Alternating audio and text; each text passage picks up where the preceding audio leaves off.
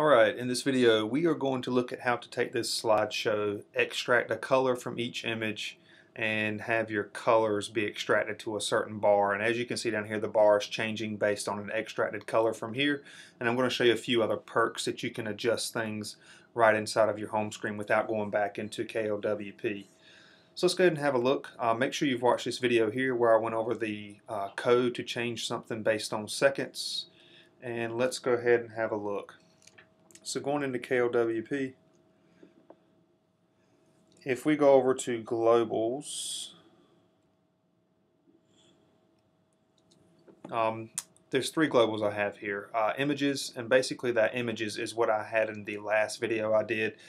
Uh, you have the file path to your particular pictures. Um, make sure your pictures are numbered 1 through whatever.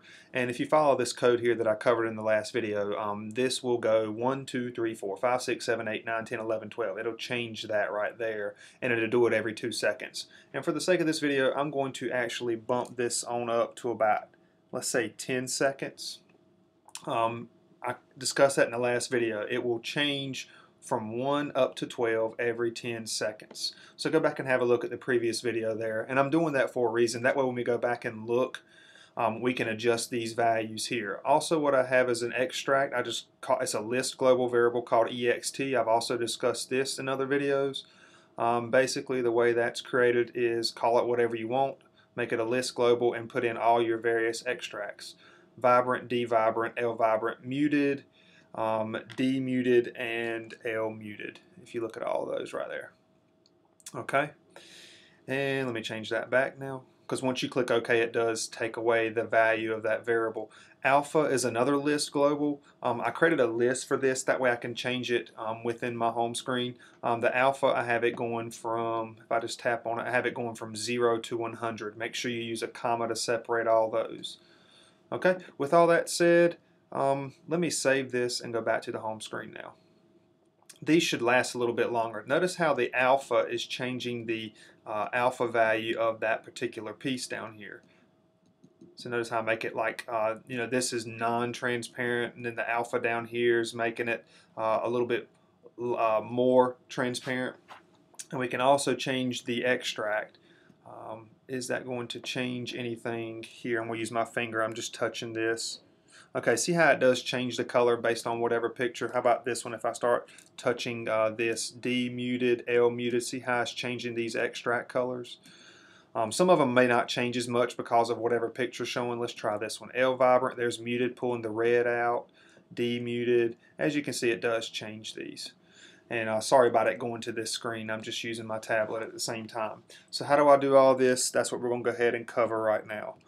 Once you have your global set up, um, going back and okay the square is just the image. I've showed y'all that in a previous video. That's nothing new. Um, the rectangle I have down here that's this guy. So there's that rectangle. Let's go to paint and look how look at how I have this coded. Um, I'm doing an alpha so I have to do the CE um, I'm extracting GV extract that's going to be the L vibrant D vibrant muted etc and it's pulling it from GV images, which I showed you a moment ago, comma alpha, comma GV alpha. Remember how we created those global variables? So we're using all three of them in here because we need to determine which extract we want, uh, where are we getting the image from, which is that global variable I created, and what alpha value do we want to apply to that color. So with that said, that's all I did inside of that rectangle. Of course, you can apply this to whatever shape you want. And then also just for uh, demonstration purposes, but actually you can even put this inside of your wallpaper to change your colors quickly without coming back into KLWP. Um, text item, and that's this one that says current extract. And so I have current extract and I have it set to GV um, EXT. That that therefore it'll say vibrant, D vibrant, L vibrant, etc. Um, based on how we or based on whatever value that global variable is, and that is a list global variable. And then whenever I touch this thing, so if I go over to touch, I'm to use my finger a little bit, go over to touch, and notice I am toggling that switch. Um, so I'm toggling that list global and I'm just going to the next value. So basically you could set it to do a certain thing, but I want it to go to the next value. That way it'll go through these things. You could do a previous and I'm going to show you next and previous right here in a moment. with the alpha. So that's how I have that one set up. And then if we go back to the overlap group. So I have this alpha thing inside of an overlap group just so that I could put my two little buttons. Um, this one here is uh, this guy right here. Of course, you can't tell that because I have it a little bit of padding applied to it. But basically, um, the text item alpha and it says 50 well it's alpha and it's GV alpha. That way it's going to pick up that alpha value showing you wherever the alpha is. Remember when alpha is at 100 it's going to be completely non-transparent. When it's at zero it's going to be uh, completely clear. So anywhere between 0 and 100 the transparency will be adjusted so there we have that and then I apply I didn't apply a touch to this I applied a touch to um, the two arrows. So this arrow here, when I touch it, I want it to toggle that global switch alpha and I want it to go to the previous value. So it's going to go 50, 40, 30, 20, 10, and then it'll go back to 100. It'll cycle back through it. I used to use the text global variable for that until I got into the list global and it's it's quite a bit easier, much less coding. I mean, it's going to go to the previous value, and whenever it goes to zero, it's going to, when it goes to previous value, once it hits zero, it will go back to 100, and I'll show you that in a moment as well. Um, what else? Uh, the right arrow. So the bold right, this one right here, when we touch it, we're toggling the same global switch, but we're going to go to the next value. So therefore, when I touch this arrow here, what it's going to do is if it's at 0, it's going to go to 10, then 20, then 30, etc. And when it goes to 100, the next value will go back to 0.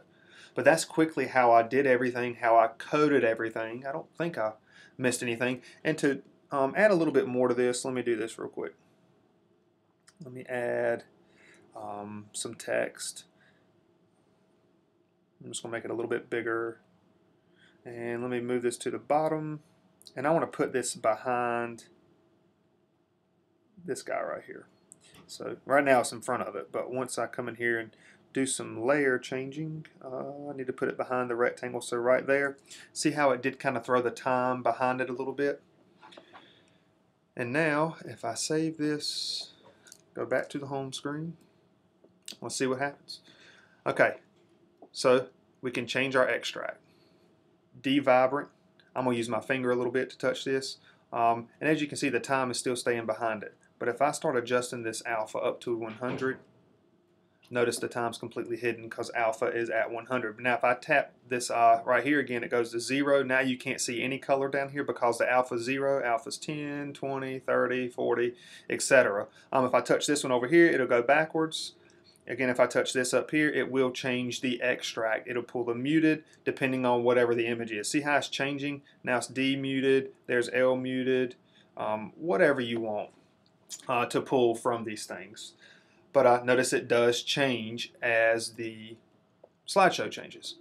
So there you have it. That's how you can extract colors from a slideshow and apply them to your custom live wallpaper. And you can also change those extracted colors and change the alpha of that color um, from right inside of your home screen without going back into the advanced editor. And that's it for this video. Hope it helped.